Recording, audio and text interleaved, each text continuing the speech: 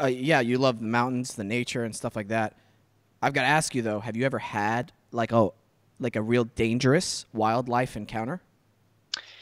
Yeah, I mean, I've had a few wildlife encounters over the years. I've spent many, many years living in a tent. So, yeah, you run across wildlife. I've encountered a few black bears, uh, saw a grizzly in Alaska.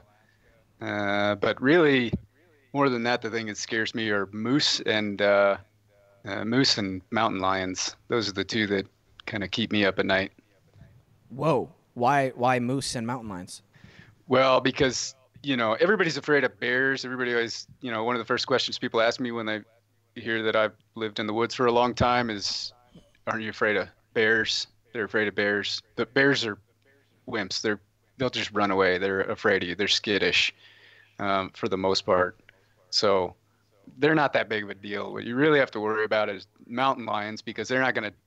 You have no notice. They hang in a tree. They'll sit in a tree branch above a trail and just wait for you to walk past. And when you're walking away, you just, you know, they bite you in the back of the neck or whatever, and it's all over at that point. So you don't really have a chance to do anything and respond. And uh, moose are really dangerous, um, which I think people think they're pretty cute and cuddly and everything, but but they kill a lot of people.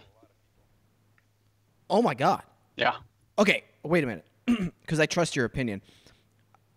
I have heard that it's you're less likely to be attacked by a mountain lion though. Like they really don't hunt humans.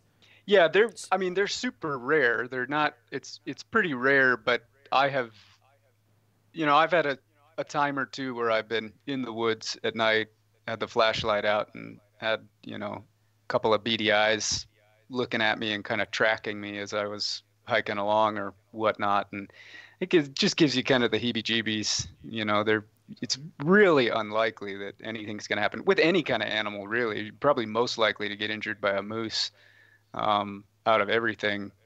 But it's just a little creepy to think about something slinking around in the woods that you don't know about tracking you. My man, you just freaked me out here a little bit. Okay, because I go on my on my pre-morning runs in the mountain over here. There's a mountain lion there. Yeah. I used to be really nervous, but then I, I met another wildlife person, Laura, who told me that you're really unlikely to get attacked by it. It's been living around people this whole time in Griffith Park, surrounded by people. You're not going to get attacked as long as you're not like surprise. You don't surprise it. So just make a lot of noise as you're as you're running, and you should be fine. So I was like, okay, cool. I'll play my music real loud. I'll kind of deter that. Um, the bear thing, I thought bears were a lot more aggressive. I guess I was wrong bear. I mean, black bear, um, they're pretty tame. They'll run away most of the time unless you're near a cub or something like that. Uh, grizzlies are more aggressive, um, but you're not going to see them unless you go up to Alaska or something. You know, you that's less of an issue. But uh, if I, I was in Alaska last summer and was on a backpacking trip, I'd done a week of kayaking and then a week of backpacking, um, and saw a grizzly across a valley from us um, through some binoculars, and it was running across this hillside. And I mean, it, it must have been going 30 miles an hour, 30, 40 miles an hour across the side of the mountain. It was crazy to see how fast it could move over that terrain. What? Oh, yeah. Yeah, it was like if you were driving an ATV across the side of a mountain. I mean, it was just clocking across the side of this hill. Oh my gosh. Yeah. That's terrifying. And there and if uh, if a moose is starting to attack you, there's really nothing you can do. No.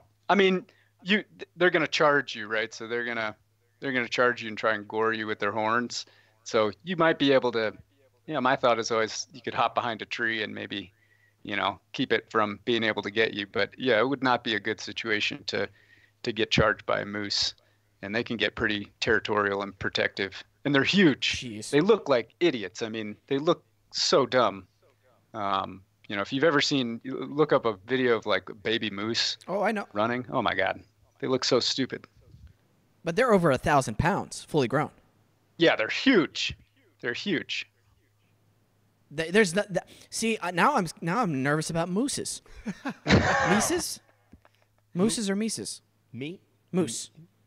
I'm nervous about Moosei. moose. Moosei. Yeah, Musai.